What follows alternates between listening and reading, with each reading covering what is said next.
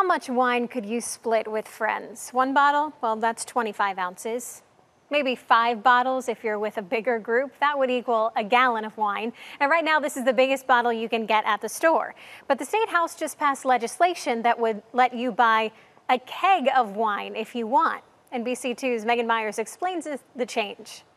For some, a glass may be just enough.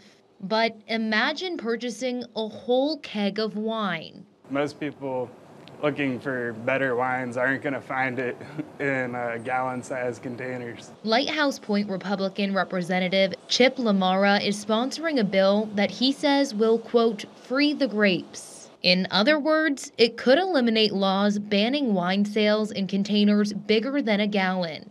Alex DeSac, one of the owners of Golden Rind Cheese and Wine, says he doesn't think it would have much of an impact on local shops like his. It could definitely do a lot for uh, producers, vineyards, looking to sell larger quantities. Sandy Zahorchak, owner of Hangar 41 Brew Shop, agrees. She says the extra large bottles won't work for people at home. For personal consumption, I mean, the wine will spoil before they finish it. But if you have a reason to jot down a guest list, if you're having a party, there's no easier way to, to let people serve themselves or to serve people out of a keg. She also thinks it could be a plus for bars and restaurants. If you're buying wine by the glass, you're much better off having it served out of a keg because you know the wine is going to still be fresh.